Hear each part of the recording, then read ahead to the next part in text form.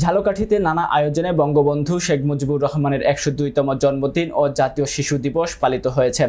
আজ বৃহস্পতিবার সকাল দশটায় কালেক্টরেট চত্বরে বঙ্গবন্ধুর প্রতিকৃতিতে পুষ্পার্ঘ অর্পণ করে শ্রদ্ধা জানান জেলা প্রশাসক মোহাম্মদ জোহর আলী। পুলিশ সুপার ফাতিহা ইয়াসমিন, জেলা আওয়ামী লীগ সহ সর্বস্তরের মানুষ। পরে জেলা যুবলীগের আহ্বায়ক রেজে- রেজাউল করিম জাকির ও যুবলীগ নেতা কামাল শরীফের নেতৃত্বে শহরে একটি বর্ণাঢ্য শোভাযাত্রা বের করা হয়। এদিকে দিনটি উপলক্ষে পৌর যুবলীগের যুগ্ম আহ্বায়ক মোহাম্মদ সবির হোসেনের উদ্যোগে সুবিধা বঞ্চিত শতাধিক শিশুদের মাঝে ছাতা বিতরণ করা হয়। বঙ্গবন্ধুর জন্মদিনে শিশুদের নিয়ে কেক কাটেন এই যুবলীগ নেতা। এছাড়াও জাতির জনকের জন্মদিন উপলক্ষে জেলা আওয়ামী লীগ শহরের প্রেস ক্লাবের সামনে সড়কে আলোচনা সভার আয়োজন করে। জেলা আওয়ামী লীগের সভাপতি সর্দার মোহাম্মদ শাহ আলমের সভাপতিত্বে প্রধান অতিথির বক্তব্য দেন আওয়ামী লীগের উপদেষ্টা পরিষদের সদস্য ও চোদ্দ দলের মুখপাত্র আমির হোসেন আমু, এমপি।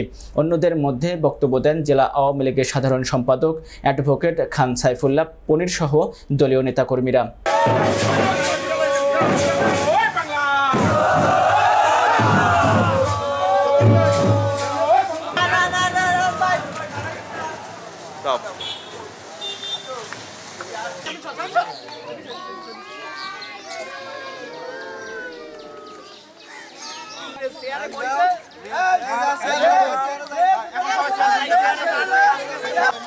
Stop.